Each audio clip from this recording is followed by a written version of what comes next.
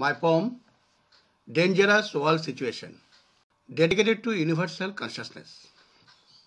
My fellow world citizens, our world never faced such dangerous situation. As the Nobel Prize for Peace defied wars against other kind with aggression, gave free license to attack countries for colonization, where UN Security Council consists of mostly old warring nations possessing massive weapons of mass destruction, including nuclear, biological, and electromagnetic radiation, at the mercy of out of control military run by private corporations. Even France has been re embracing colonial vision. Germany rejuvenating with Nazi ambition Australia is out of non-alliance for supremacist Zion. Canada is extending support towards illegal allied invasion. Italy is back on stage with fascist manifestation. Russia is embracing oligarchy, void of Soviet Union. Peace Prize giving Norway developed gigantic space-hitting weapon capable of worldwide selective traceless destruction and annihilation destroying ionosphere for deadly weather control, leading to tsunami, earthquake, drought, and mass starvation. European Union is reinforcing Zionist mission, monopolizing world resources, politics, and religion, empowering and expanding NATO for endless military action. Vatican and Holy See setting agenda at the United Nations, endangering democratic secularism and state-religion separation encouraging religious racism by divisions and isolations, solidifying religious groupism as Young Men Christian Association, Young Women Christian Association, claiming World Youth Day as Anglicized Catholic celebration. Jesuits are soldiers of Jesus, lay Jews for evangelization, not messengers of love, preached by Yeshua of Canaan. Even Red Cross profiting from calamities and destruction. Evangelic NASA scaring citizens with end of the world prediction. World Health Organization exaggerating pandemic preemption. Biotech Baxter sent live avian virus to 18 destinations. International court using flawed, biased war crime definition.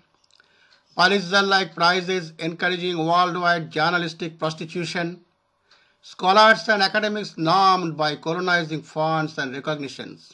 Friendly fires, mostly killing true patriots against domination. Without 9-11 investigation, felons running government, intelligence and military operations. Covert intelligence and mercenaries creating false revolutions.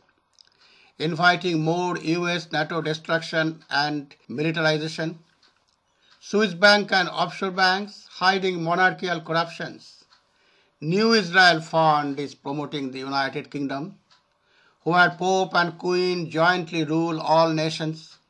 Exposing second coming of Christ is not a holy union, a final crusade of barbarism, belittling past crusaders like Alexander, Caesar, Constantine, Pope Urban II, and Hitler. Poems by Kolki. A few definitions before reading the poem or listening to the poem. Jesus, Jesus is lay Zeus, hail Jews. Ancient and modern Hebrew doesn't have letter J, which appeared in English only after 16th century. Thus, Zu, Jesus, Judaism, Jacob, John are all foreign to the land of Canaan. Now Palestine a Hebrew state would live peacefully, respecting ancient Semite brotherhood and sisterhood. Bible forgets to address the non-Semite Alexandrian invasion of Canaan, inflicting massive casualty on the locals, destruction of their culture, and modifications of existing scriptures, as well as triggering endless diaspora of the remaining Semites. Zion is church Israel is church. Head of Church of England is the Queen. Zionism is racism and Zionists are anti-Semites. Why? Let us hear Zionist Godfather Theodor Herzl, founder of modern Zionism, in 1897. Quote, it is essential that the sufferings of Jews become worse. This will assist in realization of our plans. I have an excellent idea. I shall induce anti-Semites to liquidate Jewish wealth.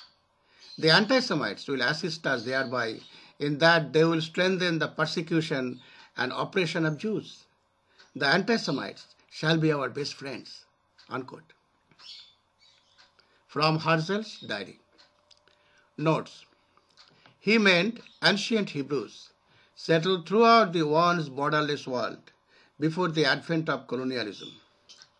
Hebrew language doesn't have letter J.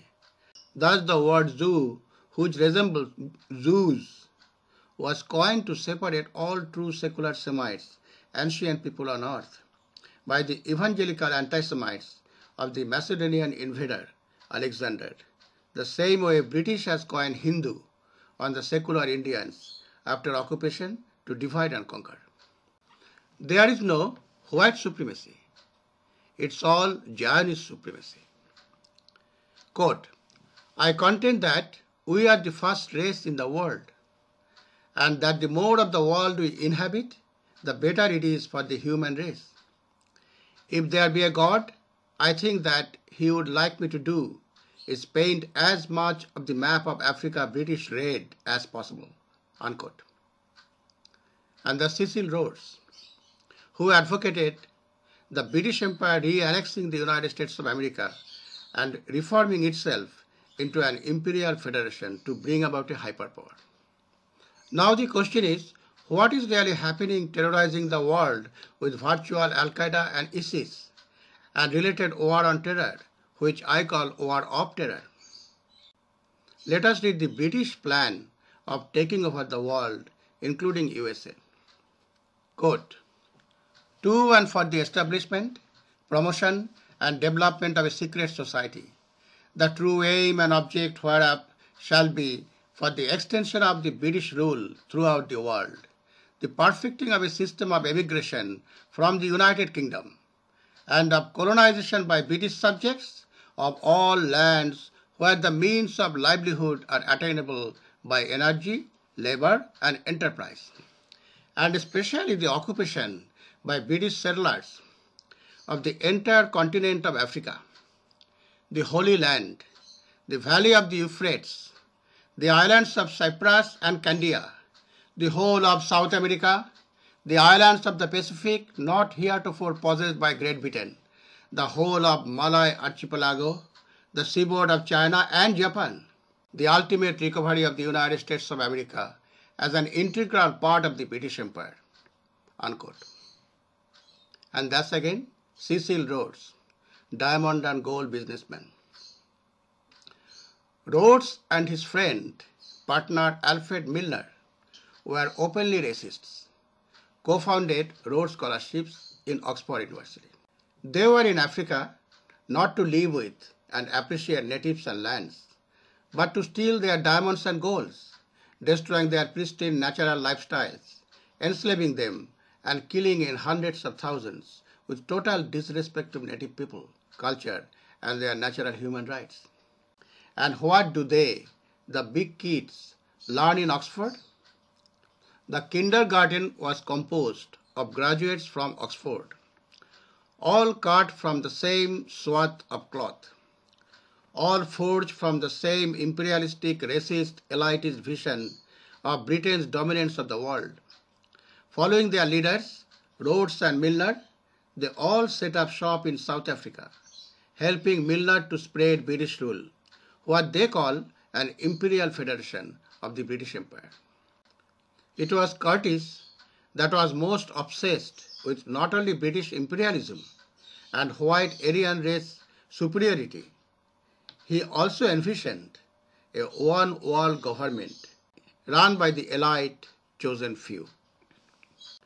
And now let us hear Henry Kissinger, who dropped massive chemical weapon on Vietnam and Cambodia. Quote, if you can't hear the drums of war, you must be deaf, unquote. And same Henry Kissinger quote, control oil and you control nations, control food and you control the people, unquote. The question is, why control? And who are you to control? Now the question is, who are controlling the military? Again, quote from Mr. Kissinger. Quote, we told the military that we have to take over seven Middle Eastern countries for their resources. And they have nearly completed their job. We all know what I think of the military. But I have to say, they have obeyed orders superfluously this time. It is just that last stepping stone, that is Iran, which will really tip the balance. How long can China and Russia stand by and watch America clean up? The great Russian bear and Chinese sickle will be roused from their slumber. And this is when Israel will have to fight with all its might and weapons to kill as many Arabs as it can. Hopefully, if all goes well, half of the Middle East will be Israeli. Unquote. And next question is why Peace Prize giving Norway would be part of high-tech traceless terrorism around the world. HAARP, New World Order, Mind Control and Weather Warfare Weapon. Now why West is becoming so violent, both militarily and covertly? Imagine if Hitler was made European envoy after World War II and related Holocaust like UK's Blair has been made Middle East envoy after illegal invasion of Iraq, destroying ancient civilization, killing millions and displacing millions, insulting UN, World Court and all democratic institutions as well as citizens of the world. West doesn't punish their war criminals. They interview them and then promote them. That's why Western military covert intelligence getting so violent day by day. Do we need to send kids for history lessons anymore? If we let 9-11 military coup go down in history as the work of Himalayan cave dweller, diabetic patient Osama bin Laden? Food for thought for all world citizens. Last but not least, isn't existence of the covert Swiss bank makes Switzerland the most corrupt country on earth, corrupting others, including United Nations, Red Cross, and Vatican, using covert intelligences, Superior General of Holy See and SMOM, Zionist soldiers of Jesus. How to get out of it? When religions coexist, leaders communicate, media respect neutrality, laws not blinded by immunity, Citizens' needs take precedence over profitability. Peace becomes reality. World lives in harmony, appreciating human rights, celebrating cultural plurality. God bless our world for universal consciousness toward peace and harmony.